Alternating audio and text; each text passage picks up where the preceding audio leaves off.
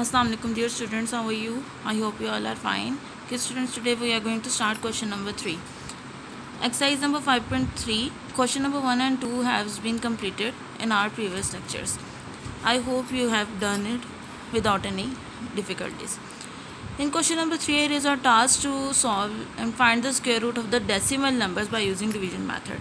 It is as similar as we have solved question number 1 and 2 but here is a little bit difference that how to solve the decimal part of a number. Here is a example and methods to solve these numbers.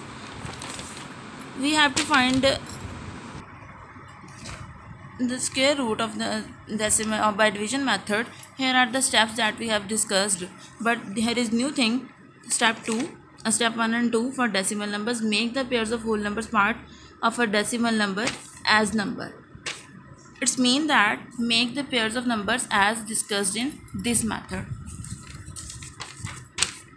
Make pairs of decimal part from left to right.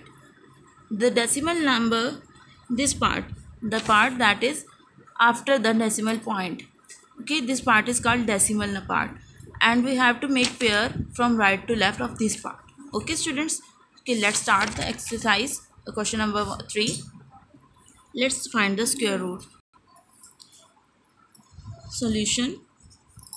We have to find the square root of 0.0529 this is the first part of question number 3 let's start it by division method.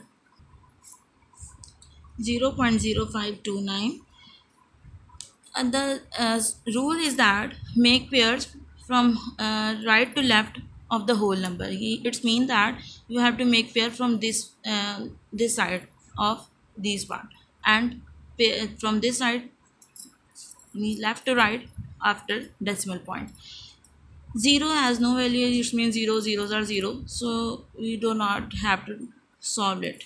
Just use it in the answer question.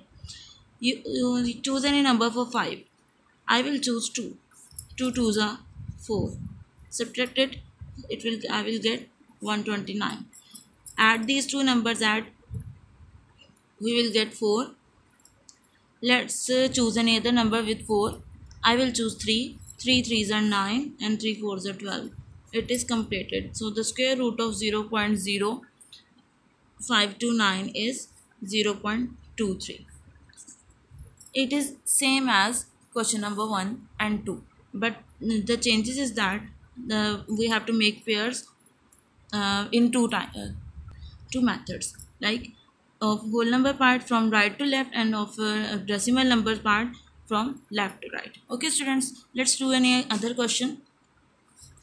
I will choose uh, ninth part. Ninth part is 508.5025 okay let's start. Its working.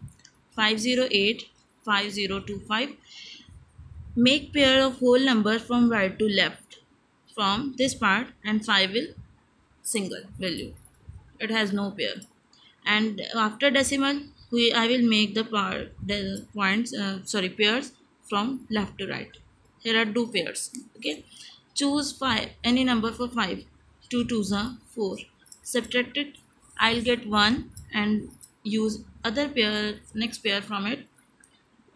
Above for to add these two numbers 2 to 4 use any other any number with it. 2 2s are 4 2 4s are 8 subtract these two numbers. I'll get 24 now it is point. When I'll get point I will uh, choose place it in the answer. Now I don't have the point in the question.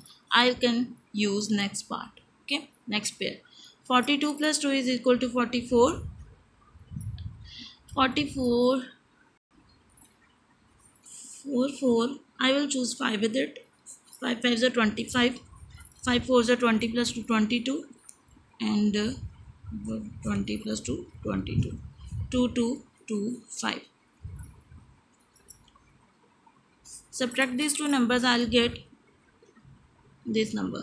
2 2 5 and use next pair with it.